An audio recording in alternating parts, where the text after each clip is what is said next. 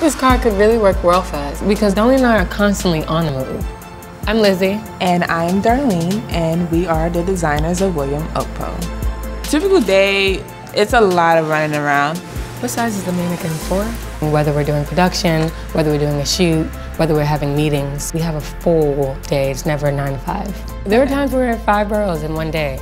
Instead of being in the subway where we're just stuck there and disconnected, it's better being in a car where we're more liberated and well connected. Sometimes we have our meetings in the car because you're able to just be hands-free. Call Rick Chara Pena. Calling Rick Chara Pena. Fancy! It definitely makes our day more efficient. Who shall I text? Kadeem, it's like a mobile office. it is like a mobile office. 230 West 38th Street, New York, New York.